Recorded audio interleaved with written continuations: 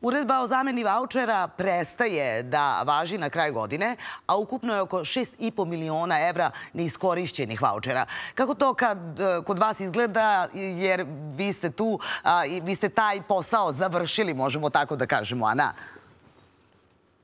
E, dobar dan. E, Tako je, naše udruženje jeste malo i organizatori s kojima smo svakodnevno u kontaktu jesu dosta manje nego oni o kojima se najviše priča u medijima, ali svakako dosta je i dalje neiskorišćenih vouchera.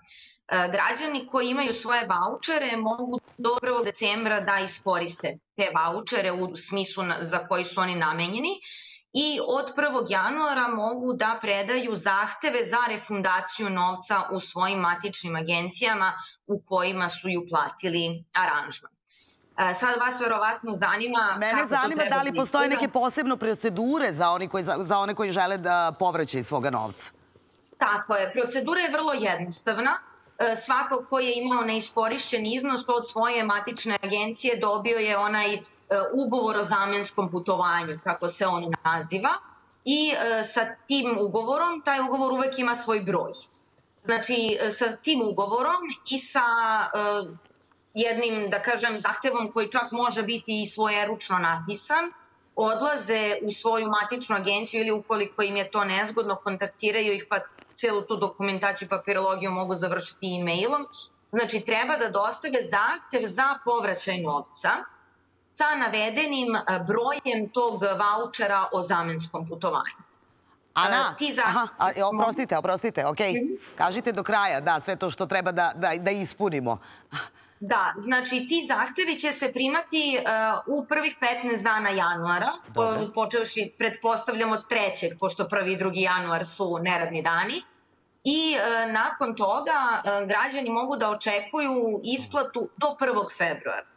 Znači, uredba nam jasno govori da je 1. februar poslednji dan uh, u sledećoj godini, odnosno u oročenju ovih zamenskih vouchera, kada agencije mogu da isplate uh, novac koje, koje putnici ili stranke nisu iskoristili. E, ono što ja hoću vas da pitam, a šta ukoliko agencije nemaju novac?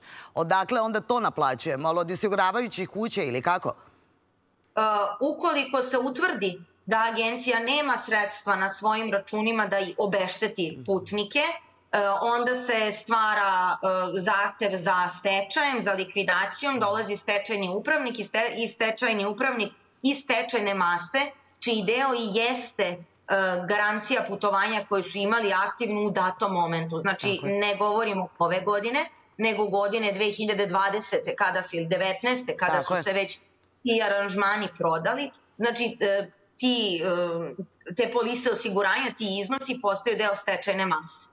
E, ja odmah moram da pripremim naše, naše slušalce i gledalce, jeste da taj proces, procedura, ta u slučaju da agencija nema dovoljno novca u, u ovom momentu da isplati obeštećenje svojim putnicima traje ali da imamo dobru praksu u poslednje vreme, da su neki slučajevi iz 2020. godine sa kraja 2020. godine počeli pozitivno da se rešavaju i da svakodnevno pratimo eto šta se dešava na tržištu.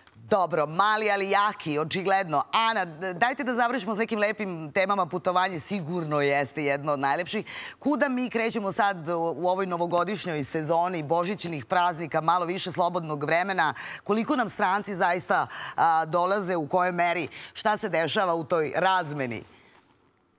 Pa 2022. godina nas nekako vraća u ona stara dobra vremena, možemo je porediti polako sa, sa 2019. koja je bila najuspešnija godina do pandemije koronavirusa. E, dosta imamo zahteva naših komšija koji su nam tradicionalno ovde u Beogradu i u Novom Sadu za novu godinu, znači iz Slovenije, iz Hrvatske. Dosta ima i sada zbog ovih svih događaja e, gostiju iz Rusije iz Ukrajine koji su možda i, i naše neko dugoročnije utočište ovde na našim prostorima, ali ono što je lepo je da i naši ljudi e, planiraju svoje odmore kako u Srbiji, tako i van granica nje.